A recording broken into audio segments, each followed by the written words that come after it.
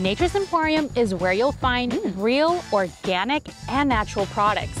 This massive 24,000 square foot store is a popular one-stop grocery and health food market and has expanded across the GTA, including Burlington and now Oakville.